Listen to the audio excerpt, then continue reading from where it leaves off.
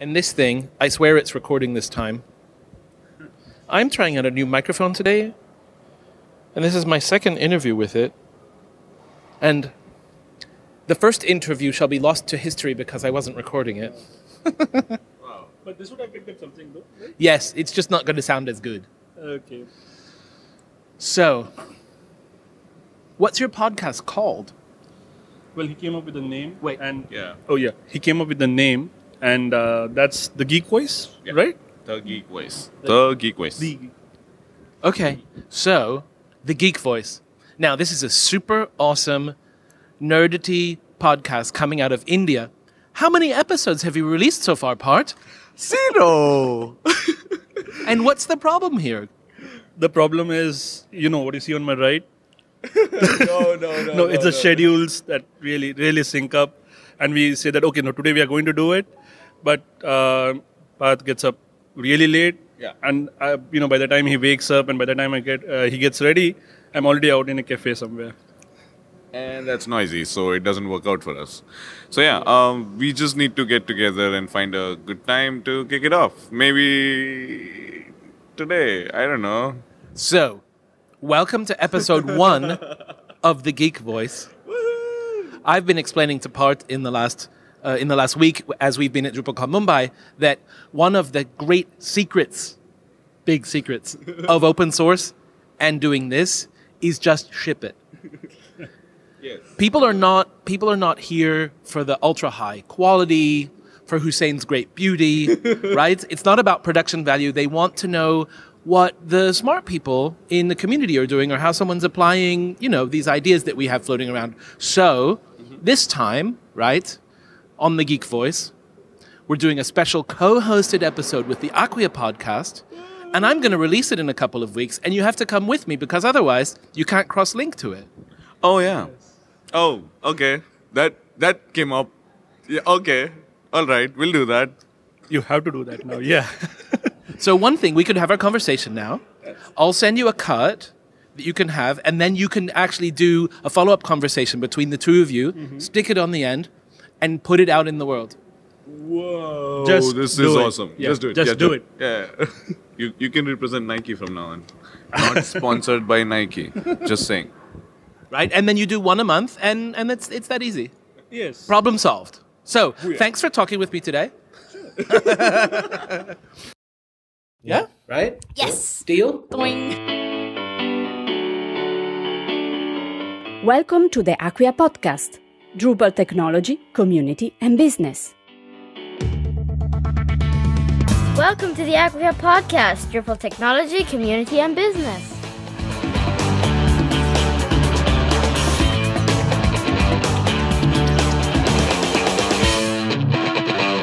There's a module for that. There, of course, there is. So. I do this little thing called the Acquia podcast that I, I really, really enjoy. And I get to meet lots of people from our community, people um, from other open source communities, people applying our ideas in business. It's really, really great. That's the Acquia podcast. We're at the Contributor Sprint Day at DrupalCon Asia, which is happening in Mumbai this year. Yeah. It's been a tremendous con for me. It's been the best con for me in in years. I mean, there's such a, a spirit. There's so much excitement going on here. Can you can you talk about what's going on in in Drupal and open source in India a little bit? Sure. And and uh, from what you said about excitement, definitely we have been waiting for this con for years. You know, actually years, and we are so happy it's finally here. And um, well, in India, uh, well, a lot of good, great things are happening in Drupal since uh, forever. I think you know. I mean, we had our first meetup in 2005 in Ahmedabad. Am I right? Yeah. Yeah. Uh, so the first camp happened uh, around 2009, though. But yes, meetup. Yes. Yeah. And in Bangalore, we have been having regular meetups. Uh, camp, we, we had a great camp last year. And uh, I know, you know, uh, Delhi, Mumbai, Hyderabad, they have been having camps since uh, 2011. So in a lot of Europe and uh, places in America, a great camp has 80 people, 200 people, 300 people, right? There aren't very many that are above 350. Let's say Bad Camp, uh, the nice camp in New York City, those are London, London, London, 600, 700 people. What's a normal average size of a camp in India? 500 plus. Otherwise, it's not called a camp. Yeah, it's you know, not a It's a big meetup. We had a mini camp. we had a mini camp, and we saw about what uh, hundred people. We had about hundred registrations, and uh, I I don't remember how many turned up, but yeah. I think I think about 80. I It, okay. I Oh, think yeah, that's what I, Tanay told me. I'm completely lost here. 80, 80 is a really nice size, though. Uh, one of the reasons why I love going to camps, I, I, DrupalCon is very important, and I obviously I, I like it, but for me, so much more of the grassroots stuff happens at the camps now. And when you spend two or three days with 80 people, um, you get the chance to talk with so many more people directly and you know on a personal level and really spend time with people you want to talk to and especially um, well at DrupalCons where you know a thousand, three thousand, four thousand people come it's like hi hi hi hi hi great to see you. How's your project going? Great to see you. Hi hi hi hi hi hi and that's already done right? And and certainly at the American cons there are times when I don't even, I haven't even said hi to all the people I know yet and then it's so it's it's a very valuable gathering in some ways, but not really for maintaining maintaining this Yeah. network that we need. No, That's why we pay a lot of attention to meetups. We keep it, uh, you know, we, we, we treat it as a very important thing. We have it monthly, at least we try to. And a lot of companies sponsor it out. And about the mini camp, yeah, you're completely right, definitely. Uh, we uh, The last mini camp we had, uh, like I said, around 80 people turned up. There- there's this person who turned up, and uh, he- ever, since then he has been a regular contributor to all the events. In fact, he has pulled together the community like we have not been able to in you know few years. He has created WhatsApp groups, and you know, he's pulled in people from different companies, and you know, like asking them to follow up, and you know, so it's like a WhatsApp group is like uh, around 200 people now. So we, we were on a we were in a panel discussion yesterday about the transformation of Indian IT and, and open source and what have you. And one thing that came up that I think this is this is relevant to is the bring let everyone in, bring everyone in, let everyone come and see what's going on because you never know what skill is someone someone's going to have. They could be a great coder, right? But there's we, we need so much more than that. Yeah, I mean, um, if you if you ask me, um, I am not a coder myself, uh, and I've been part of the Drupal community since three years now, and I haven't written a single line of code. But um, so I think we should have, as, as we were talking yesterday. I mean, you guys were. So there's a good balance of uh, people that we should have, coders, non-coders, and. Uh, I think the conclusion was that it'll automatically balance itself.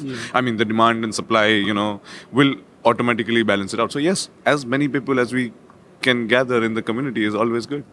So you both work for a company called Axelerant, which is fully remote. You are still India's number one contributor to Drupal 8, is that right? That's that's right. Co- so, so code contributor. code con- yeah, that's right. Yeah. Okay. So thank you for that. Now, your contributions are completely different. You're a community manager at Axelerant. What does that involve? What do you do? So I help um, support uh, local communities do their camps, uh, meetups. Um, so I help them get the word out. Uh, you know, entertain them while they're there. Something like a mini jam, maybe. yeah. So um, I- I support the community to organize events, basically, and um, I I've been um, organizing camps since three years, and I think under my belt I have Drupal Camp Delhi two years in a row, uh, Mumbai last year, then um, Drupal Camp Hyderabad, Drupal Camp Bangalore, Drupal Camp Pune. So the first Drupal camps, two Drupal camps. yes. So I've done all the camps. I've been on the core committee of all the camps. Wow, that's awesome. Well, thank you for doing that. Now tell me, um, Axelerant hired you to do this and pays you to do this. What are your what are your goals? What what what do you have to tell your manager that you've succeeded? And and what sort of business value does Axelerant get from having uh, a community organizer on on staff? Um, this is not more of a business uh, move for us, uh, to be very honest. Uh, it's more of a branding effort and you know elevating the community from ground up.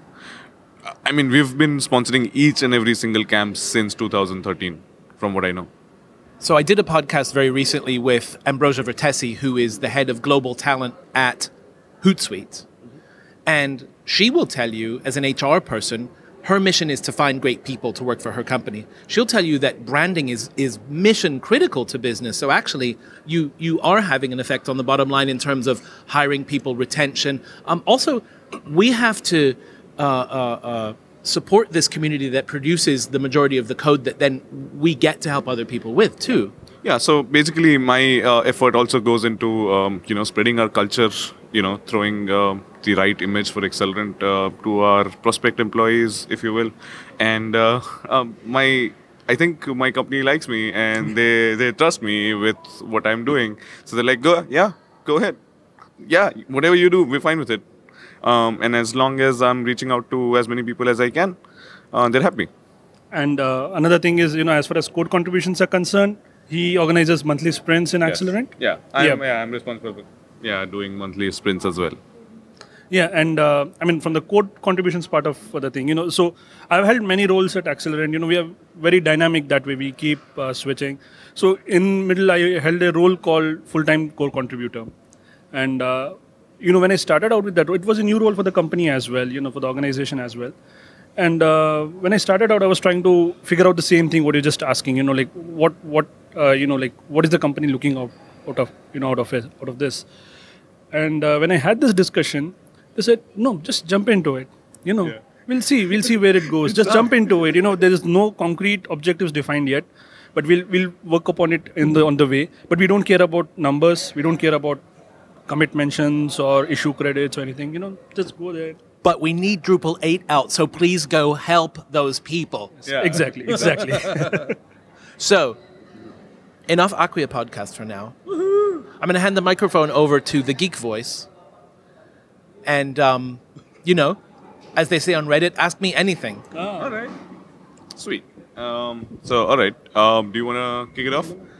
Oh, you want to you want to hold the mic? All right. Thank you so much. Thank you so much, Hussain. Hey, uh, welcome to Geek Voice first episode.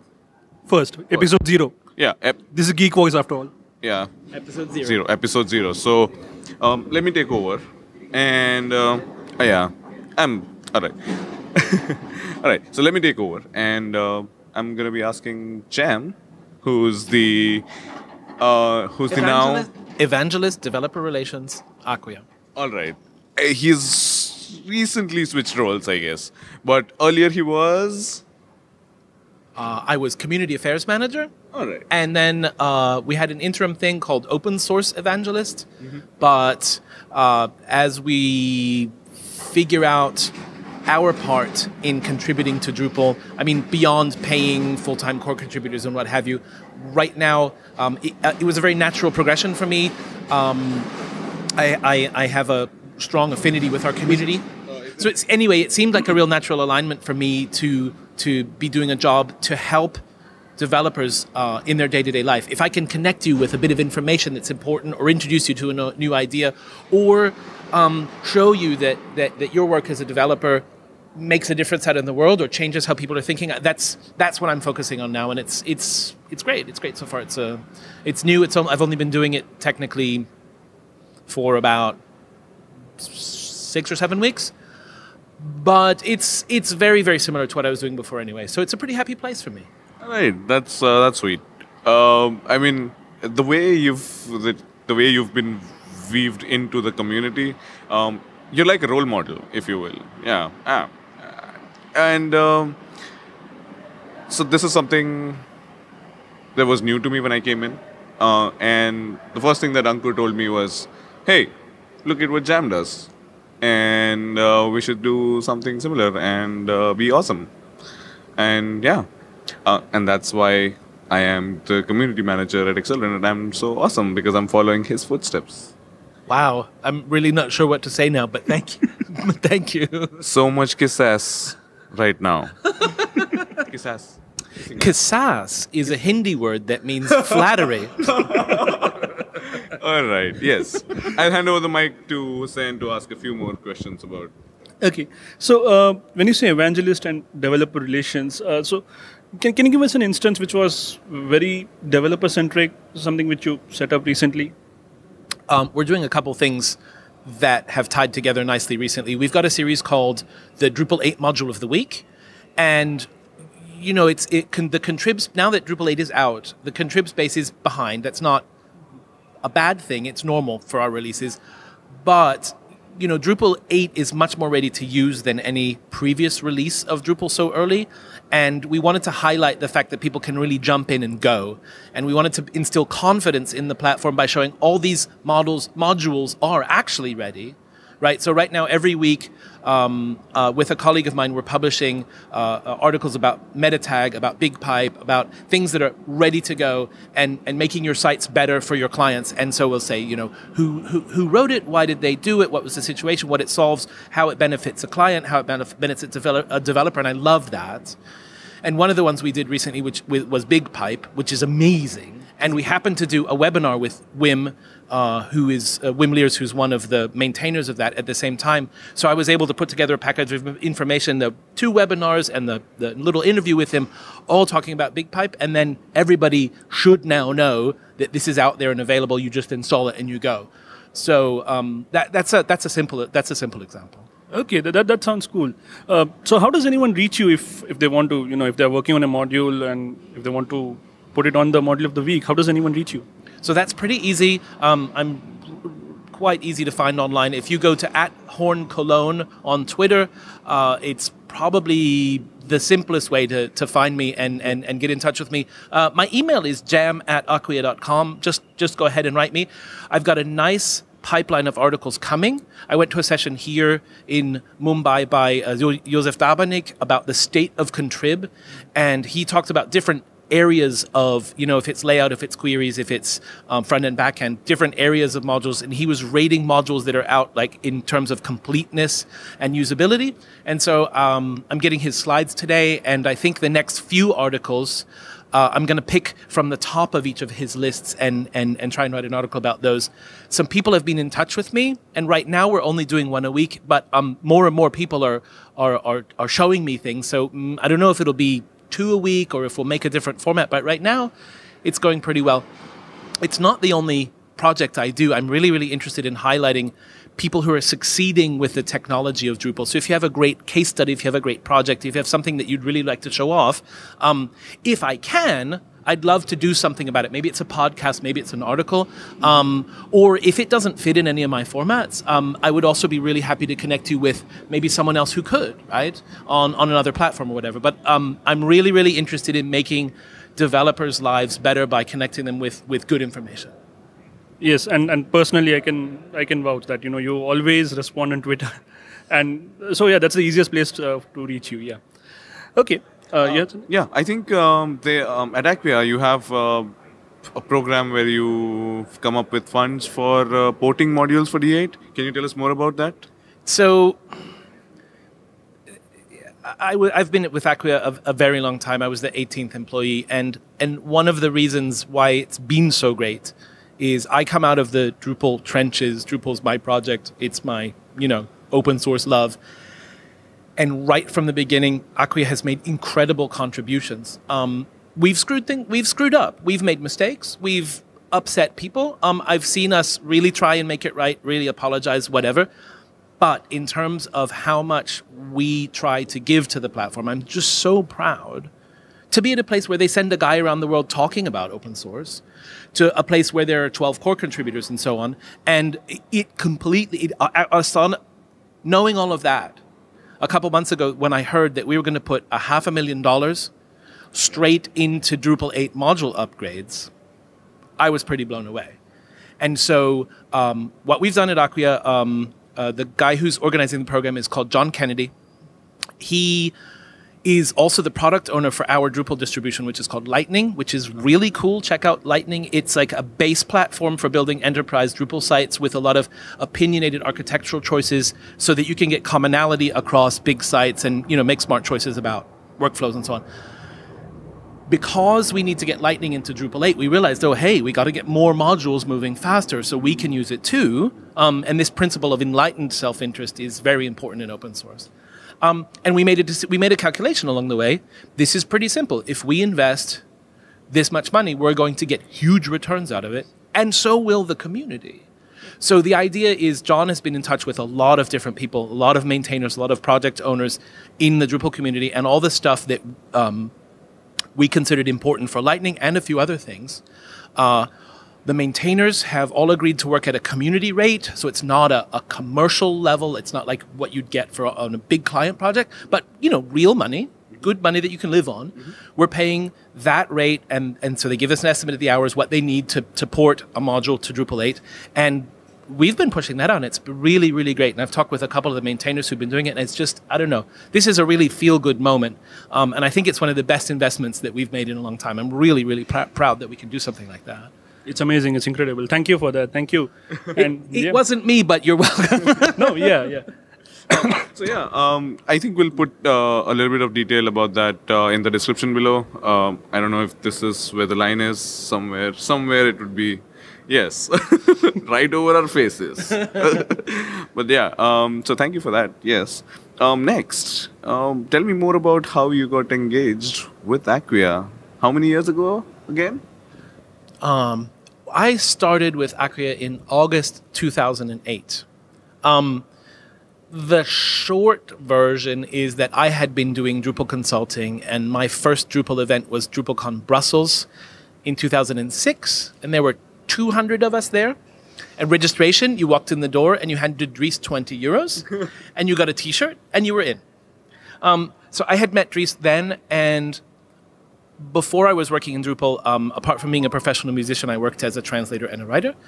And he engaged me to write all of the texts and the legal disclaimers and the API documentation for Mollom when he came when when he that was his other startup um, when he brought out Acquia. And uh, so I did all of the texts from Mollom. We had worked together a little bit, um, and because we knew each other sort of secondhand through the community. And at some point, Acquia needed a, the position was called senior writer. And I knew Drupal, and I had been doing professional writing for 10 years basically. And, and it seemed like a really good fit. And I wanted to move on from my situation. And so this little startup sounded like a good idea. And um, mm, well, I was the 18th employee. This was a this was a small company. I mean, and you have to imagine that the first version, we everybody did everything. I worked on Acquia.com, um, and and I was the most junior person in engineering. I documented the Drupal Gardens when we built it. I documented our first ho- hosting platform. I did testing, bug reports, all that stuff. Whoa. And over time, I transitioned. 2011, I transitioned into the marketing department um, because I was getting better known in the community. And um, I was given a, a very, very nice budget to go and help the community. And I sponsored, in 2012, I sponsored 84 Drupal camps. I don't think any single person has sponsored that many. Now, it wasn't my money, but I think it's also money well spent. Um, and, you know, did a lot of community investment in that, through that. And then um, as time's gone on, this has transitioned into this evangelist job. And it's, I mean, um, it's, it's been a good ride. Awesome. Just saying, I don't know if you've. I think this is the first time you're telling this on a. I've never heard of it. Yeah, okay. So this is a first right here at The Geek Voice. The Geek Voice, episode zero. Yeah. Episode zero.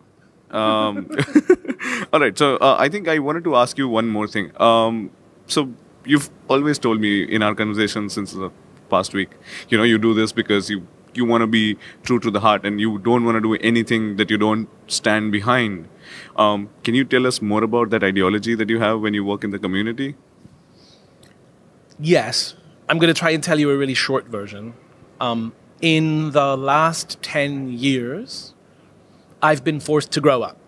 I've had to become an adult. I mean, I have children and, and um, friends and relatives have died, and I've had to deal with that. And, you know, people my own age have gotten sick, and it's all, you know, it's real life. And it, it can be really hard. And as I've gone through some of these hard times, right, in, like I said, in the last, I've been doing this is wow i've been doing drupal for 11 years so in, in this in the same time frame as i had to face up to facts and become an adult um, i got involved in drupal and involved in open source and this this I, the, the changes in me um, inside me they feel completely tied to the open source values right uh, transparency honesty sharing paying it forward paying it back all that stuff that we practice. We don't just say it would be nice to do that, we live that in our communities. And because these things were happening at the same time, for me somehow it's just one. And and when you see me doing stuff, when you hear me doing stuff, it's actually really me This is not, I'm not mm, putting on a show or something.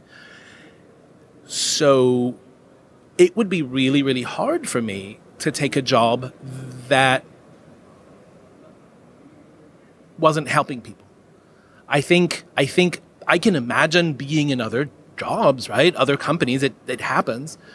But I think if you make something that makes people's lives better, doesn't even have to be developers, right? But it has to be something that I can believe in, or I would really have trouble doing it. So, you know, expressing that in what we do today, I mean, I, I, tr- I deeply uh, admire our community and our technology, and that's what I'm, that's what I've been doing for a long time. But I, you know, it could apply elsewhere too. But that's, I guess, that's the shortest version of that. But that's really, really inspirational. Yeah, yeah, exactly. Um, so I was uh, super inspired by that, and that's why I'm like, you have to mention that on the podcast. I And you heard it first here. first. We do a lot of firsts, and we're gonna do a lot of firsts in our coming episodes. So you better follow. So, where can we find the Geek Voice online? Um, the Geek Voice should be available on YouTube and on Axelerant website blogs. So we're gonna do a quick up- upload on the YouTube, and the same thing you can have uh, on our blogs as well, and probably a gist of it, a summary of it as a blog at the bottom. Okay, so what we're gonna do now, technically, is we're gonna we're gonna wrap up now. We'll cut this audio together. I'll give you one copy. I'll give me one copy, right? And when you're ready to release, which has to be soon, we'll release these roughly at the same time, and then we'll link link link to each other. Um, thank you so much. It was a real privilege to be on your podcast. I um I I really enjoyed that, and and you you know you brought out stuff that I wouldn't just bring up on a normal basis. So you know, thank you for taking the time to have me on your podcast. I really really enjoyed it. Um, how's your DrupalCon been? Amazing. Really, really. I mean, like, got to meet so many people. And usually you meet a lot of good, great people. But, you know, I'm doing that this time in my own backyard. Yes. Um, so this was like uh, hosting a big party at home for me. I've been meeting with people, inviting them to parties and stuff. It was tiring. Yes, it's always tiring, by the way, um, for organizers and you know team members. Freaking fun. So much fun. So I've really had a good time, and if anyone can find a good excuse for me to be back in India, be in touch. Thanks, guys. Thank you. Thank you. Thank you, Jam. Thank you so much. Drupal Camp Bangalore. Oh, oh, Drupal India. Come on.